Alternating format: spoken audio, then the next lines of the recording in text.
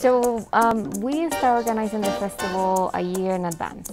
So right now, uh, we are the festival is happening.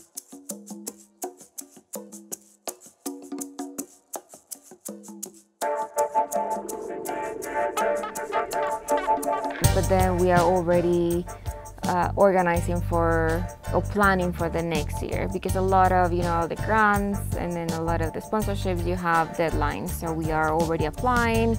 So it starts like it, you know more than a year in advance for next year. What did you guys think of this year film festival? Way better a lot of more people uh, a lot of interaction a lot of people are responding. They seem like they want to not just see movies from the us but they want to experience what chile argentina spain El Salvador, yeah. It's always great to see that you get out of your shell and see like, oh wow, Europeans also make great movies. Oh wow, South America also makes great movies. So it's always a pleasure to see movies from other countries, and thanks to Cine Magnifico, we get to do that.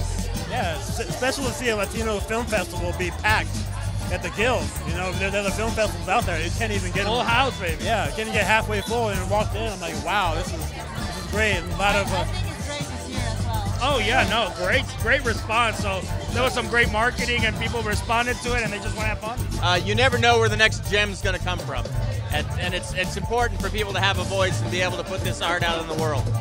The thing about being a creative person, um, trying to tell stories and trying to put work out there. As an independent filmmaker, you're doing all of it. You're doing the creative work. You're doing the pounding the pavement, trying to get funding for your work. You might be fronting the money yourself if you're able to get um, a philanthropist who believes in the arts and supports your work, it frees you up for more of the creative side of what you're doing. Can you tell me who you are?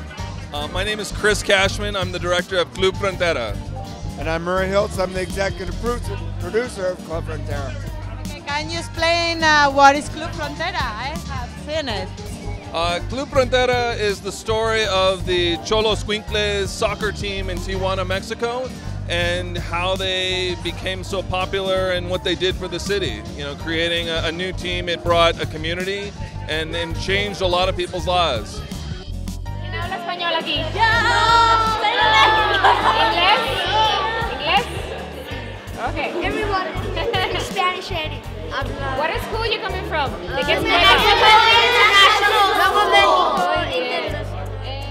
So the Instituto Cervantes, the mission is to promote uh, Spanish language and uh, Spanish culture and also Latin American culture. So part of, of Instituto is promote um, all the all the cultures where this the Spanish speaking countries. So the festival comes as a parallel, you know, uh, programming for us. So we are promoting culture through film. All the films are in Spanish.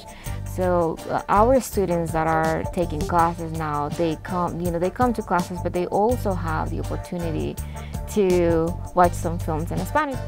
Um, well, it's a big part of the culture here. Like I'm like Hispanic myself, and I haven't, as you can see, I haven't learned the language or a lot of the culture, and that's really sad, especially when you have so many kids here and they can't experience their own culture.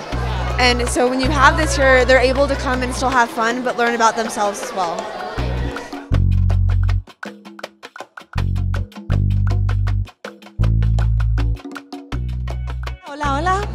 ¿Por qué está aquí esta noche?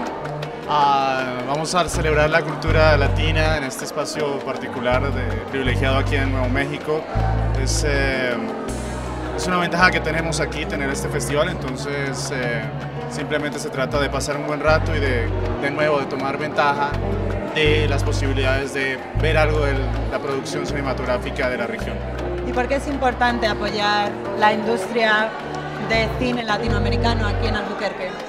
Bueno, porque pues por varias razones. Primero porque esta región, ya lo sabemos todos, es una región importante aquí en la que dentro de la geografía cinematográfica estadounidense y por lo tanto me parecería un desperdicio dadas las condiciones geopolíticas de, de la región, pues no tomar ventaja de eso.